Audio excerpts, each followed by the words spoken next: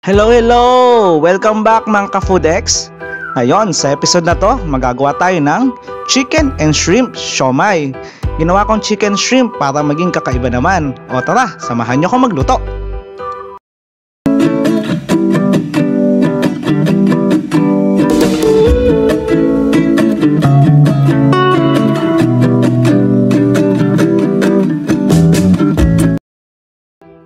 At syempre, ang ating main ingredients, ang giniling na manok. Sa recipe ito, gumamit ako ng 500 grams o kalahating kilo ng giniling na manok. At syempre, ang ating hipon, mga isang kilo yung ginamit ko dito. O pwede rin naman yung untian, depende sa gusto nyo. Depende naman kasi yan kung gusto nyo mas maraming hipon, go! Tapos gagamit din tayo ng dalawang buong bawang at tatlong pirasong sibuyas. Gumamit din ako ng tatlong pirasong carrots. Medium size lang. Ayoko naman kasi nung sobrang laki. Tsaka mahirap yung yadya rin, di ba? Mga dalawa o tatlong stem ng celery. Kasi yung dahon lang naman ang gagamitin natin dito. Pangdagdag aroma ba sa ating siomay. Tapos ito yung gagamitin nating wrapper. Molo wrapper yung ginamit ko kasi mas hindi siya tumitigas kapag ka, tumag, uh, kapag ka naluto na. Nabubulol tuloy ako. Tapos gagamit tayo ng tatlong pirasong itlog. Pero dalawa lang yung gagamitin natin. Yung isa, egg yolk lang yung gagamitin natin. Mamaya makikita nyo kung bakit. Gamit tayo ng asin at paminta bilang pampalasa. Harina, ito yung magsisilbing binder kasama ng itlog. At ang ating garlic powder. Uh, yung garlic powder is optional lang para mas maging garlicky yung ating siomay. Siyempre, gagamit tayo ng oyster sauce, soy sauce, Sesame oil pang dagdag aroma, pero optional naman to, pwede naman siyang wala. At ito yung kumpletong listahan ng ating recipe. Pwede mo siyang screenshot para hindi mo makalimutan yung ating mga ingredients. At pwede ka rin magdagdag kung ano pa yung gusto mong gulay na idagdag sa ating siomay.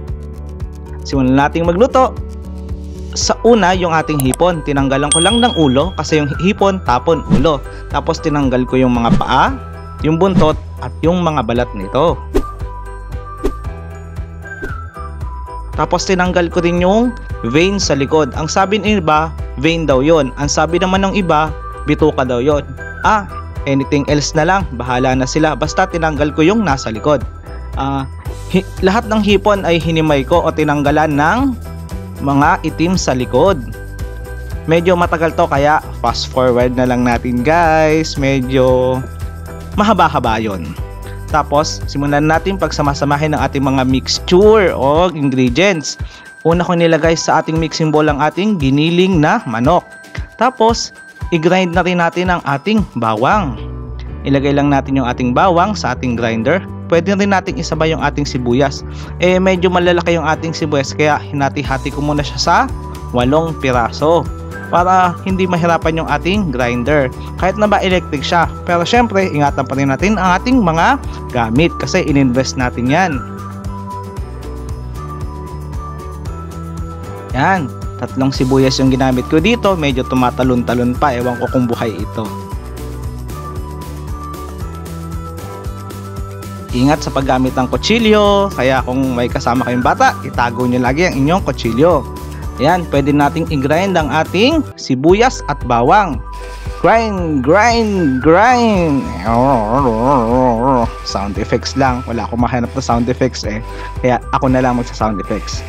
Ayan, ang ganda ng pagkaka-mix ng ating sibuyas at bawang. Oh, grind na grind talaga siya. Oh, tingnan mo oh, ang ganda. Tapos isama na natin siya sa ating giniling na manok. Siguro yung giniling na manok na ito, yung chicken breast. Or pwede naman kayong gumamit ng chicken breast tapos tadtarin nyo na lang ng pino o kayo na yung magiling para mas matipid, di ba? Yan. Tapos isunod natin i-grind ang ating hipon. Kasi ayaw naman nating buo-buo yung hipon sa ating siomay kasi mas maganda nakamix talaga yung ating hipon sa ating siomay. Kaya kung may kasama kayo na allergic sa hipon, sabihin nyo kaagad na may hipon yung ating siomay para hindi na sila magka-allergy reaction. Tandaan nyo yan kasi maraming tao may allergy sa hipon. Grind-grind din lang natin siya hanggang sa magmukha siyang giniling na manok. Este, manok ba o hipon itong ginigiling natin? Ah, hipon talaga yan. O ayan, tingnan nyo. Ang ganda ng pagkaka-grind. At tapos, isama na natin siya sa ating uh, ingredients. Oh, ang ganda, 'di ba? Para din siyang giniling na karne. Tapos, lagay na natin lahat. Akala ko may na ako. Tapos, kinuha ko lamang yung ating celery. Yung dahon lang yung ginamit ko dito. Yan. Mga tatlo o apat na stem. 2 to 3 yata o 3 to 4 yung ginamit ko dito. Tapos, tinadtad ko lamang siya ng maliliit. Noong nagtatadtad ako to, naalala ko yung matatanda sa amin habang nagtatadtad sila ng ano yun, tabako gagawing sigarilyo. mukha na akong matanda. Naalala ko pa talaga yon tapos ayan i-roughly chop lang natin. Ay hindi pala roughly chop ang tawag dito. Ah uh, basta i-chop natin na malilit o ayan pwede na siya. Tapos ihalo lang natin sa ating uh, siomay, siomay mixture. Tapos yadyarin na natin ang ating carrots. Medyo matagal ito guys. Kaya fast forward na natin tararan ayan marami na tayong na gawa tapos timplahan na natin ng asin, paminta. Yung lasa nito depende sa gusto nyo ha, kaya magdagdag na lang kayo ng asin at paminta kung gusto nyo. Tapos sinamahan ko na rin ng harina. Tapos yung ating garlic powder, sabi ko kanina, optional lang to. Pero gusto kong mas maging aromatic yung ating siomay. Kaya dinagdagan ko rin ng sesame oil. Ang bango kasi nito kapag kakasama sa pagkain. Kaya gustong gusto ko yung pagkain nilalagyan ng sesame oil ilagay na rin natin ang ating toyo, ang ating oyster sauce.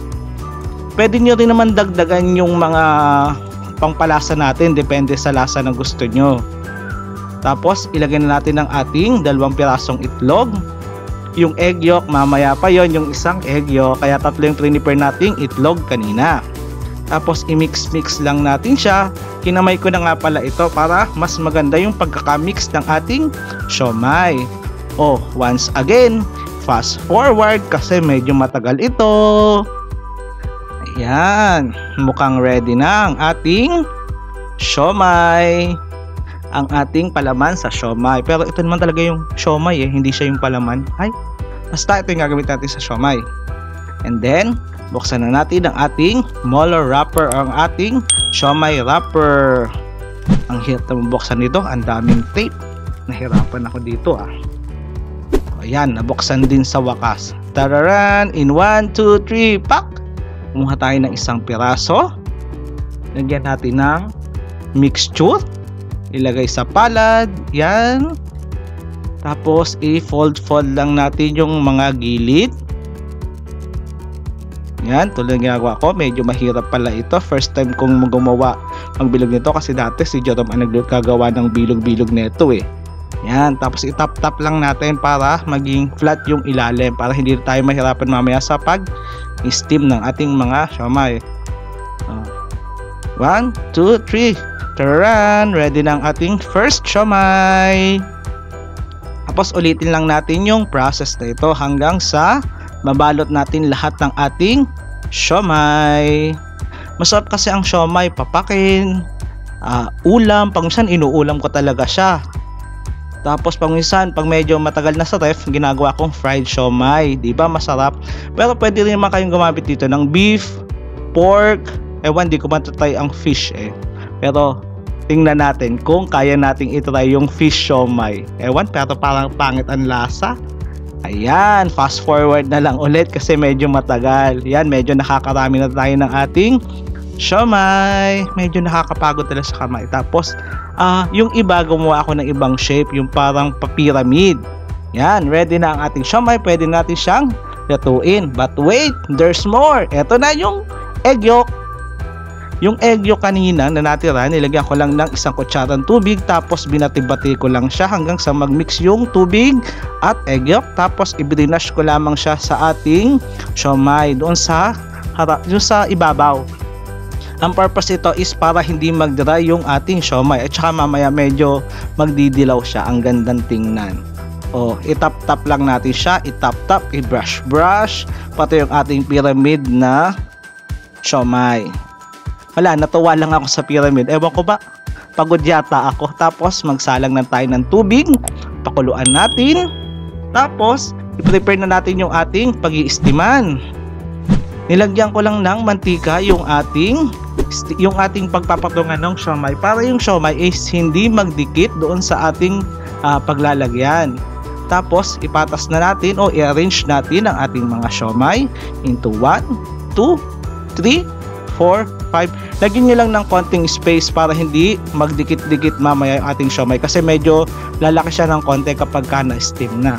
Kaya arrange nyo ng mabuti, lagyan ng space, mga 25 kilometers yung awa. So yan, kumukulo na yung ating tubig. Kaya pwede natin ilagay ang ating siomay. Pa, uh, steam lang natin siya into 15 to 20 minutes. And then, fast forward ulit after 15 minutes. Tararan! Ready na ang ating siomay! Hmm, ang bango ko. Nandito lang kayo guys, mga ka-food X. Talagang maamoy nyo yung ating siomay. Tapos, ginawa ko rin lang siya sa mga next batches. And then, ready na nating iserve ang ating mga siomay. O habang ina-arrange natin to, huwag kalimutan mag-subscribe at i-hit ang notification bell para lagi kang updated sa mga latest video natin. Yan, nag-aabang na yung mga tropa ko nito. Chak, pagpipistahan itong ating siomay. Oh, comment ka na kung ano yung gusto na yung gusto mo makita sa susunod naming episode ha. Huwag kakalimutan. Tsaka yung mga social medias natin, i-like mo na rin. Tapos meron tayong bagong group, Foodie Explorer. Pwede ka mag-post ng mga recipes nyo at sharing ideas tayo sa mga recipe, mga ka-Food X. Yan, ready to serve. Nag-prepare nga pala ako ng sausawan tulad ng toyo with lemon, chili garlic paste at fried garlic. Wala lang kasi akong alamang eh. Kaya ewan ko ba kung bakit gusto ko yung alamang dito sa siomay. Kaya lang not available today. Willing to wait? No, no more. Kasi sabik na sabik na kumatakman ang aking siomay. Oh, titikim na ako guys ha. Using my chopstick. Kaya lang makisama ka, kumapit ka. Hindi man talaga ako marunong mag chopstick eh. 1, 2, 3. Buti na lang hindi nahulog. Wow! Sarap! At ito nga pala yung ating mga subscribers, mga top commentor. Salamat maraming maraming salamat po sa inyong patuloy na suporta. Kung wala pa ang comment mo dito, mag-comment ka na para sa susunod naming episode. Ikaw naman ang naka-flash dito. At maraming maraming salamat po sa ating mga bagong kaibigan na si Hiner Chef Vlogs, Our Kitchen TV, Unrim Travel TV at Sock Sergeant OFW. Marami pong salamat sa inyong panonood. Hanggang sa muli, ito po ang inyong Pocholere TV. Explore the foodie in you.